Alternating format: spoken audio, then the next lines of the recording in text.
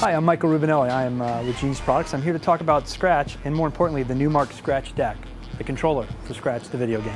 Okay, so what we have here is we have uh, what looks very much like and performs very much like a real piece of DJ gear. We have a we have a platter that's touch sensitive, conductive material. So you grab the wheel, you let go. You grab the wheel, you let go. It knows what's going on. You have 30 millimeter by 30 millimeter uh, MPC style drum pad buttons.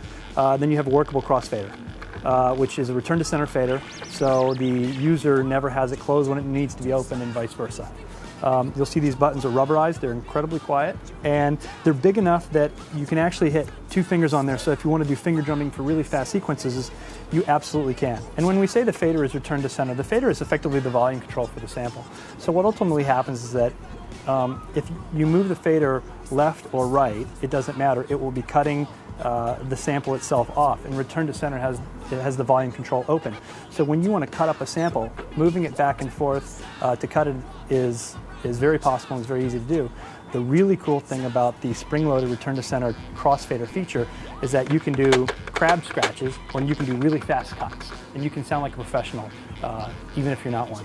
And the great thing about this controller is that it really is a great intro to becoming a DJ. There's a lot of one-to-one -one correlation between what you can do with this Numark Scratch Deck controller and then what you can do with real DJ gear. A relationship with Numark is more than just slapping a name on a controller. Numark actually designed the controller from the ground up to feel and sound like real gear, to give it that authentic uh, look and performance that uh, you know doesn't make it feel like a toy.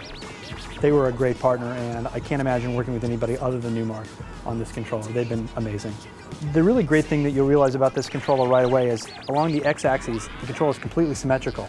So for our righty-lefty flip fans, it doesn't matter what hand you scratch with and uh, what hand you fade with. The controller is completely symmetrical and the game will, will recognize that when you set it on uh, lefty flip. The great thing about the touch-sensitive uh, wheel from Numark is it's very similar to Yamaha CDJ 1000 functionality where you can actually touch the wheel and it knows that you're touching it and then when you move it in the sample and you let go, it, lets, it knows where you let go. So the back and forth movement, fast and slow, letting go, grabbing, letting go, grabbing, it actually thinks you're grabbing the record at the appropriate time, just like a, a real DJ would if they were using a CDJ 1000. So there you have it, that's the Numark Scratch Deck that's going to be working with Scratch the Ultimate DJ coming soon to store near you. Thanks a lot.